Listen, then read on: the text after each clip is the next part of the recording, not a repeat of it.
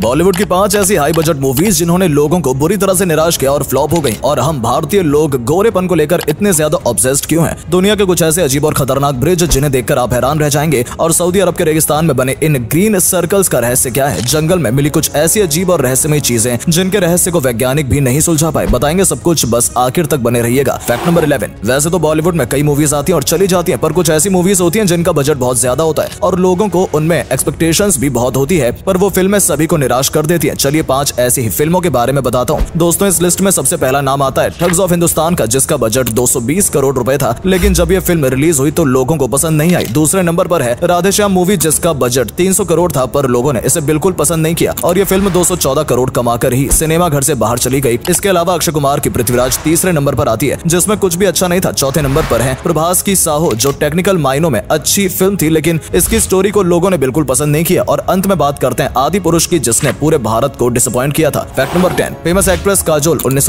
में ऐसी दिखती थी। वहीं 2023 में आज वो ऐसी दिखती है। इन दोनों ही फ़ोटोज़ में काजोल के चेहरे पर बहुत बदलाव आए हैं। वो पहले से कई गुना ज़्यादा गोरी हो गई, जिससे पता चलता है की हमारी सोसाइटी गोरेपन को लेकर कितनी ज़्यादा ऑब्सेस्ड है। ये सिर्फ़ बॉलीवुड की बात नहीं है, बल्कि पूरी सोसाइटी की है। हमारी सोसाइटी के कालेपन को एक प्रॉब्लम की तरह समझा जाता है, जिसका शिकार सबसे ज़्यादा लड़कियाँ होती हैं। और लड़के भी गोरेपन के लिए कई सारी क्रीम लगाते हैं, जिसकी वजह से फेयरनेस क्रीम्स का मार्केट इंडिया में तीन हज़ार करोड़ रुपए से ज़्यादा है। फैक्ट नंबर नाइन ऐसे एक्टर जिनका करियर डूबने वाला था, लेकिन फिर उन्हें एक ऐसी फ़िल्म मिली जिसने उनके करियर को बचा लिया। इस लिस्ट में सबसे पहला नाम अक्षय कुमार का आता है, जिन्होंने अपने करियर की शुरुआत एक्शन हीरो के तौर पर की थी, लेकिन बाद में उनकी फ़िल्में चलना बंद हो गई और उनकी 16 मूवीज़ फ्लॉप हो चुकी थी। तब उन्होंने एक कॉमेडी मूवी हेरा फेरी में काम किया, जो सुपर हिट हुई। संजय दत्त भी इस लिस्ट में आते हैं, जिनके लिए लेट नाइन्टीज का समय बहुत खराब था। इस समय इनकी लगातार फ़िल्में फ्लॉप हो रही थी, तभी इन्हें मुन्ना भाई एमबीबीएस फ़िल्म मिली, जो इनके करियर की सबसे बेस्ट फ़िल्मों में से एक साबित हुई। लास्ट में सिद्धार्थ मल्होत्रा की बात करते हैं। जिन्होंने पाँच लगातार फ़िल्में फ्लॉप दी थी, फिर 2021 में शेरशाह मूवी से इन्होंने कम किया fact number eight mountain climbing के बारे में आप जानते होंगे, लेकिन चलिए आज हम बात करते हैं इससे भी खतरनाक आइस क्लाइंबिंग की। इसमें लोग एडवेंचर के लिए जमी हुई बर्फ़ पर चढ़ाई करते हैं। इस दौरान उनके पास कुछ खास औज़ार और ग्रिप वाले जूते होते हैं, पर ये इतने खतरनाक होते हैं की अगर पैर फिसल गया तो फिर बर्फ़ टूट गई तो लोगों की मौत भी हो जाती है। और ये माउंटेन क्लाइंबिंग से कई गुना ज़्यादा रिस्की होती है। फैक्ट नंबर सेवन इंडियन घरों में जो पंख लगे होते हैं, उनमें ज़्यादातर तीन ब्लेड्स ही होते हैं, पर क्यों ज़्यादातर इंडियन पंखों में ब्लेड्स तीन होते हैं। देखिए, अमेरिका जैसे देशों में पंखों में चार से पाँच ब्लेड्स भी होते हैं और भारत में तीन, क्योंकि इसके पीछे कई कारण है। भारत में गर्मी बहुत ज़्यादा पड़ती है और इसलिए तीन ब्लेड्स वाले पंखे भारत से ज़्यादा होते हैं, क्योंकि विज्ञान की माने तो तीन ब्लेड्स वाले पंखे ज़्यादा हवा देते हैं। वहीं अमेरिका में चार से पाँच ब्लेड्स वाले पंखे इसलिए होते हैं, क्योंकि उनका काम रूम के वेंटिलेशन को मेंटेन करना होता है। साथ ही साथ तीन ब्लेड्स वाले पंखों का कास्ट भी कम पड़ता है। फैक्ट नंबर सिक्स, अक्सर शुतुरमुर्ग जैसे जानवर को ज़मीन के अंदर अपने सिर को कुछ इस तरह से छुपाए हुए देखा जाता है, जिसके पीछे काफ़ी इंटरेस्टिंग वजह है। शुतुरमुर्ग उड़ भले ही ना पाते हो, लेकिन भागने के मामले में बहुत तेज होते हैं। और दुनिया के सबसे तेज इंसान को भी ये हरा सकता है। और ये लड़ाई में भी बड़े बड़े शिकारियों को मात दे देता है। और जब बात इनके अंडों या फिर बच्चों पर आती है तो ये काफ़ी प्रोटेक्टिव होते हैं। ऐसे में जब कोई शिकारी इनके बच्चों या फिर अंडों पर हमला करता है तो ये उन्हें सबसे पहले ज़मीन से छुपाता है, जिससे ये प्रतीत होता है कि डर के मारे शुतुरमुर्ग ने अपने सिर को छुपा लिया फैक्ट नंबर फाइव क्या आपको पता है कि पार्लेजी बिस्कुट की शुरुआत भारत को अंग्रेज़ों से आज़ादी दिलाने के लिए हुई थी? दरअसल बात उन्नीस सौ उनतीस की है, जब मोहन दयाल चौहान ने एक पुरानी फैक्ट्री खरीदी टॉफी बनाने के लिए। ये फैक्ट्री वैले पार्ले नामक जगह पर थी तो इस कंपनी का नाम भी पार्ले पड़ गया। ये कंपनी इंडिया के स्वदेशी मूवमेंट से प्रभावित होकर बनाई गई थी। मोहन दयाल जी का मानना था कि भारतीय लोगों को भारतीय कंपनी की बनी हुई चीज़ें ही खानी चाहिए। उस समय मार्केट में सारी विदेशी बिस्कुट बनाने वाली कंपनी फ़ेमस थी, इसलिए उन्होंने उन्नीस सौ उनतालीस में पार्ले ग्लूकोज बिस्किट लॉन्च किया, जो भारतीय लोगों के टेस्ट के हिसाब से बनाया गया था। इसके बाद पार्ले जी को काफ़ी पसंद किया गया और यहीं से पार्ले की कहानी शुरू हुई। फैक्ट नंबर फोर सऊदी के रेगिस्तान में बने इन हरे भरे गोलों को देखो जो बहुत अजीब लगते हैं। पर क्या आपको पता है कि इन्हीं ग्रीन सर्कल्स में सऊदी अरब अब टेक्नोलॉजी की मदद से खेती कर रहा है? सऊदी अरब की बंजर ज़मीन को भी अब उपजाऊ बनाया जा चुका है। इन लोगों में बहुत बढ़िया तरीके से टेक्नोलॉजी की मदद से खेती की जाती है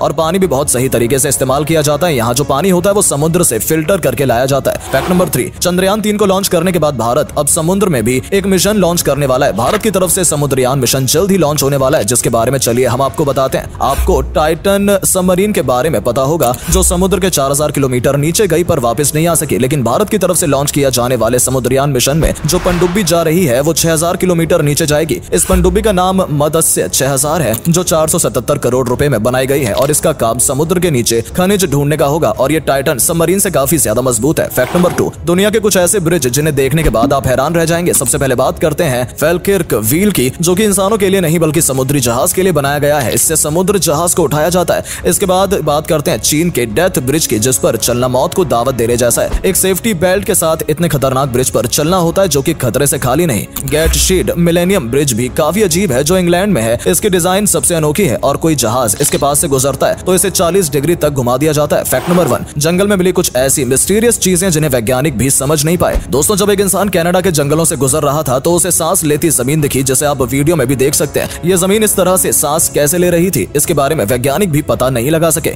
इसके अलावा 2019 में अमेजोन के जंगलों में बीच बीच में एक मरी हुई विशालकाय शार्क मिली, पर जंगल में ये शार्क कैसे पहुँची इसका पता वैज्ञानिक नहीं लगा सके। और आज कम ये मिस्ट्री बनी हुई है कि ये शार्क जंगली पहुँची तो पहुँची कैसे। उम्मीद है आपको आज की वीडियो पसंद आई होगी। अगर हाँ तो इस वीडियो को लाइक करें और अपना पसंदीदा फैक्ट कमेंट करें और वीडियो को शेयर ज़रूर करें। आपका एक शेयर हमें मोटिवेट करता है ऐसी और वीडियोस बनाने के लिए धन्यवाद।